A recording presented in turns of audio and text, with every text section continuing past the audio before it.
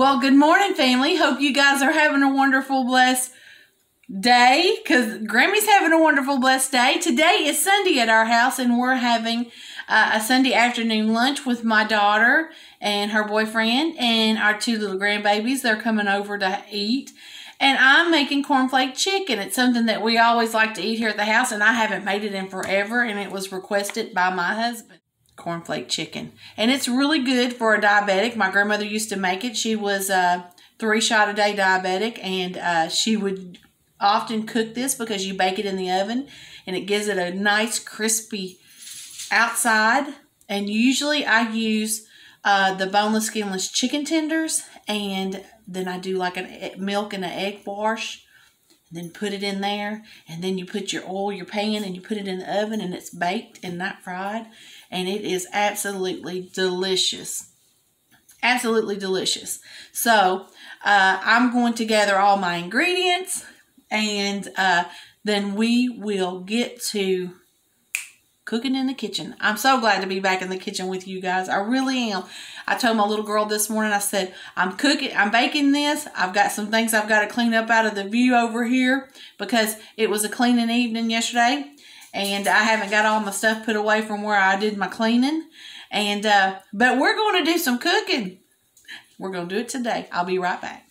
All right, guys, when you are making cornflake chicken, the first ingredient you have to have is cornflakes. And they don't have to be the name brand. They can be a generic. I got this one, and it's pretty much going to take most of this box for a 40-ounce bag of the boneless, skinless chicken tenders. And you're going to want to have them thawed. I've had mine thawing in a bowl in the refrigerator. And so uh, I kind of let, let them lay out when I went to bed late last night. Got up early this morning, put them in a bowl in the refrigerator. But we're fixing to get this ground. Now, my mother-in-law used to make this too. And she would roll these out with a Coke bottle, hammer, all the things that she had. But what we're fixing to do is we're going to use my little mini food processor because I don't have a big one. Because I don't want to have to beat these alive this morning. We're going to do them right. I'll be right back.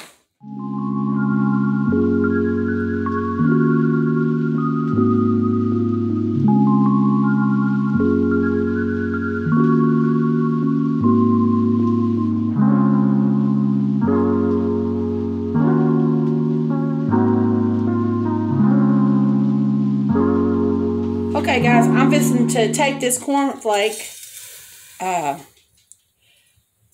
breading that I made. And see, I, I like some of it little and fine, some of it a little bit thicker. That way you get a nice good crust on there. And I'm probably going to add maybe about a teaspoon of seasoning salt.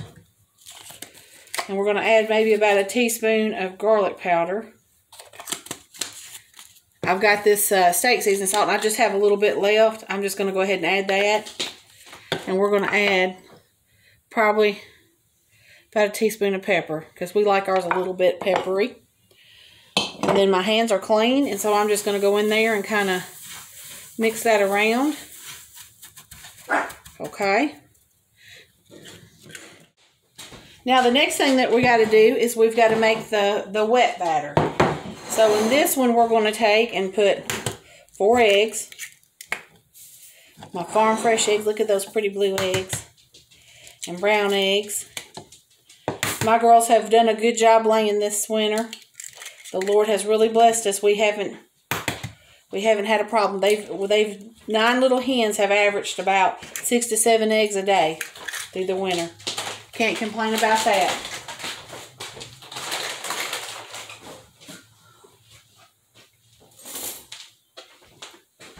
So we're going to bust this up.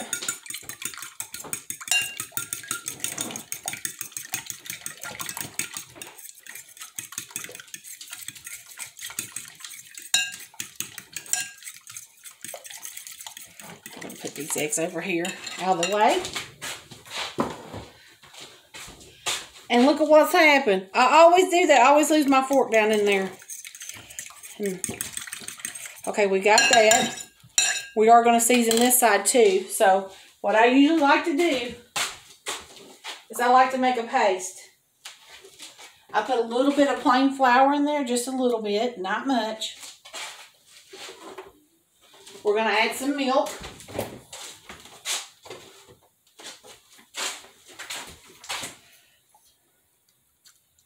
Maybe about a half a cup or a third of a cup.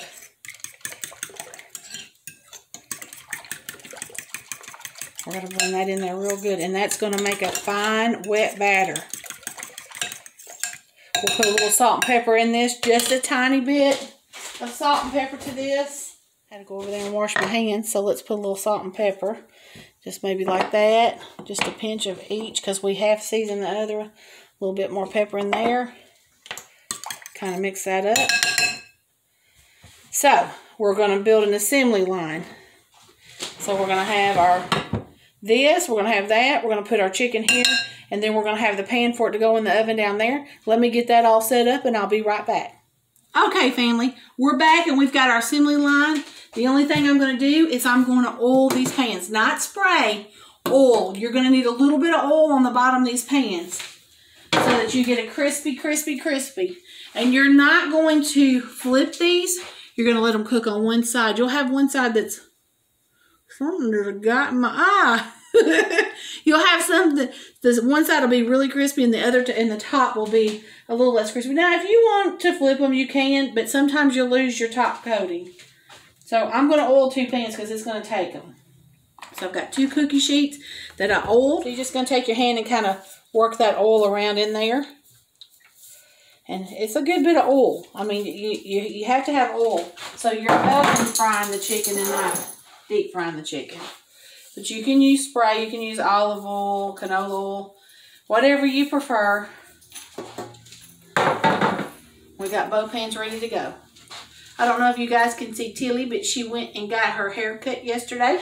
Till Wilvers, Till Wilvers, can you tell them how pretty you are? And she had to get a sweater because she doesn't have any fur right now, and so does Lacey.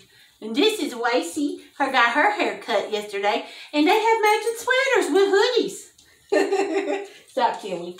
And so anyway, we noticed when Lacey got her hair cut that her head was awful small compared to her body. So she is going on a diet with Grandma Nae Nae too. she's been trying to eat her food and Tilly's food. So she's kind of put on a little bit of weight. Now what I like to do is I like to use these tongs. And I like to use three, well only two of them. I only have to use two. Because this uh, will stick to this tong when you put it over in here. So you'll have a big wadded mess.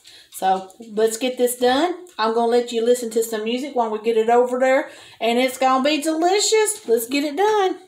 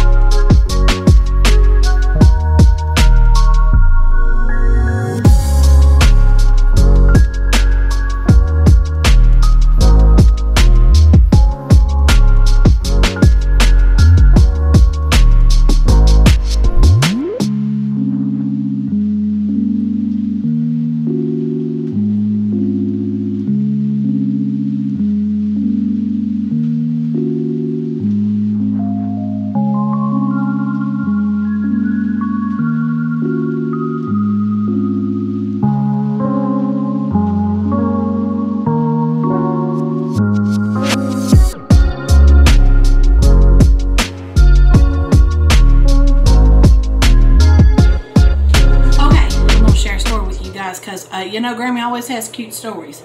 Well, last week, my little granddaughter, Chachi, Chacharu, she is four going on 14 and she has a style already at four years old. And she has certain clothes that she loves to wear and certain clothes that she does not like to wear. And so a couple days a week Grammy gets to take them to school because mom and daddy has to go to work early so I'm dressing her and she looks across the room and she sees the clothes that mama has sent in the bag and they it's a little pink jogging outfit with leopard print circles on it and she said mama knows I hate that outfit and I, I don't want to wear it and anybody that's dealt with three, two, three, four year olds, five, six, 14 year olds, know that they can have a meltdown in a New York minute.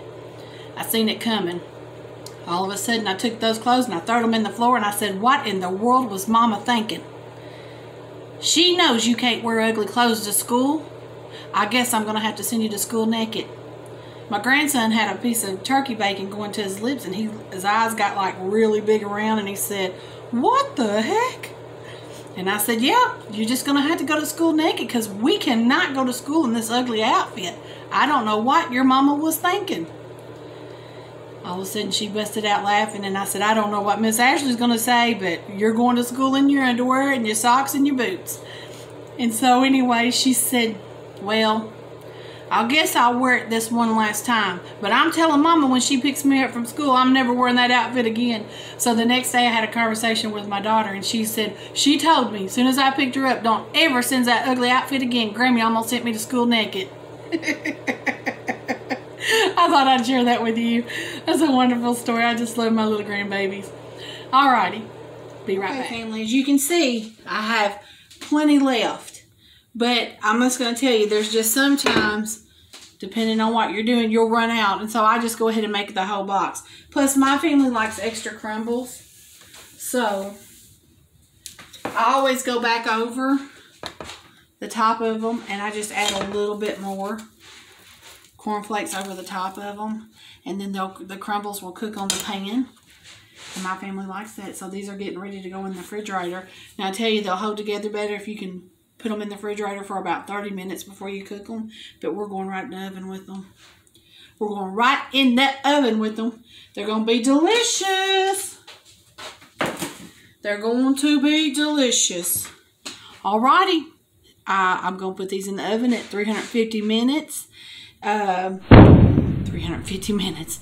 I'm to put these in the oven at 350 degrees and they're to cook for probably close to 25 to 30 minutes because the chicken tender meat doesn't take a whole lot of time to cook. So I'll be back in just a minute. Okay, family, our chicken's done. It's all down here, and it is hotter than a firecracker. Let me get like a small one from right here.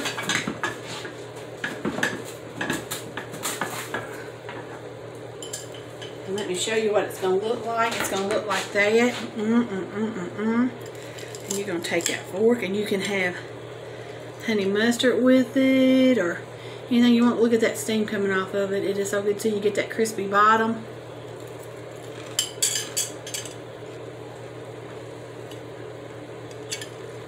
Mm-mm-mm. Mm-mm-mm. That is good. And it made, one bag made 1, 2, 3, 4, 5, 6, 7, 8, 9, 10, 11, 12, 13, 14, 15, 16 pieces. The little kids, sorry, something was needing stirring on the stove, so I picked it off and got it. It's brown gravy for the mashed potatoes that I made. Anyway, I hope you guys have enjoyed this video. Um, I've enjoyed making it for you. I love you. I'll see you for Wednesday encouragement. And uh, till next time, I'm Grammie Nae Nae. God bless.